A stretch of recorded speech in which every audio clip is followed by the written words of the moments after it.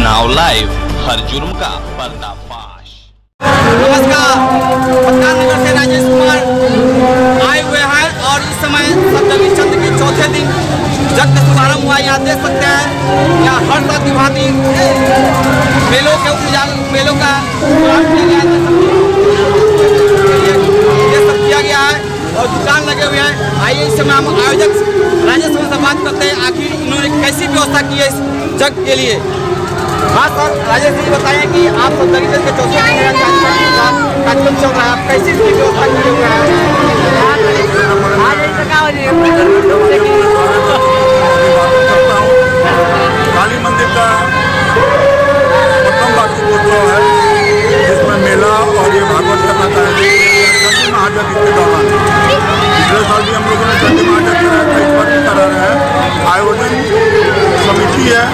सारा देख रेख कर रही है।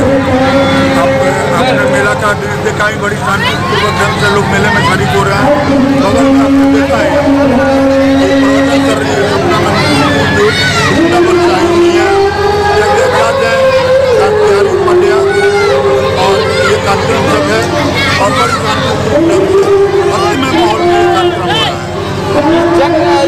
प्रवचन के बगल में जो मेला लगा हुआ है, इस मेले में बहुत से महिलाएँ और बच्चियाँ आ रही हैं और यहाँ पर कोई भी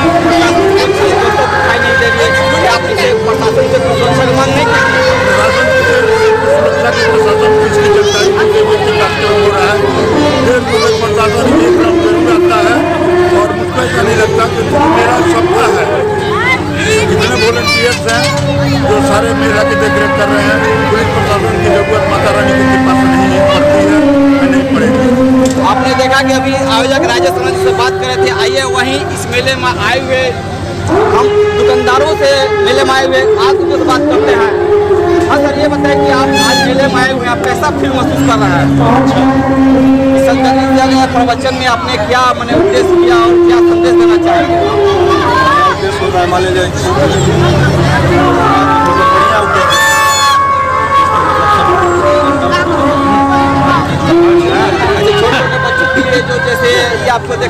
हुआ।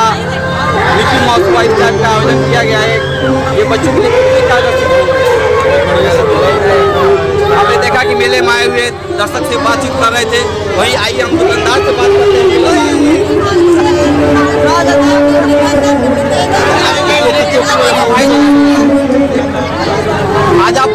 दुकान लगाए हुए हैं। कितने दिन दुकान लगाए हुए हैं? किस तारीख से लगाए हैं। तो आज मेले चौथे दिन हुआ आपके मेले में आए हुए।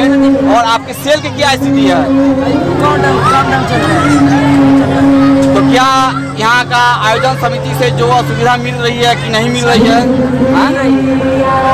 देखिए कि आप मेले में दुकानदारों से मैंने बातचीत किया, उसमें यही प्रतीत हो रहा है कि यहाँ आयोजन समिति जो है, अच्छी व्यवस्था की है और मेले में आए हुए बच्चों की भीड़ देखते हुए सब प्रतीत होता है और दुकानदारों और मेलों में ऐसा होता है कि यह उत्साहवर्धक, ये सब जो जितने बच्चे हैं, देख रहे हैं, उत्साहवर्धक है।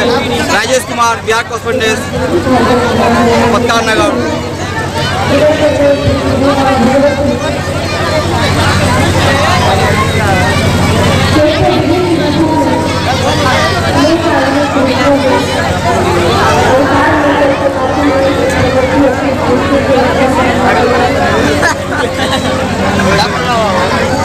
और आपके सेल की क्या स्थिति है? क्या यहाँ का आयोजन समिति से जो असुविधा मिल रही है कि नहीं मिल रही है हाँ?